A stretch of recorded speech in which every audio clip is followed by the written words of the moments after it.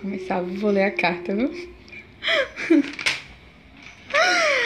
Moço, você chegou do nada e se tornou meu tudo. Tudo que eu sempre quis. é o homem que eu sempre imaginei ao meu lado. Você nunca desistiu de mim e hoje estamos aqui, quase sete anos casados. E eu agradeço a Deus todos os dias por ter você comigo. Deus já tinha tratado. Não, Deus já tinha traçado todo o nosso caminho, nossas vitórias e nossas derrotas. Mas posso te dizer que tudo é um grande aprendizado.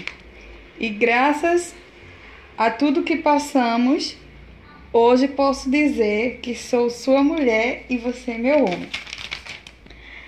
Eu te amo muito e agora, a cada dia que passa, eu vou te amar em dobro. Porque dentro de mim bate dois corações apaixonados por você.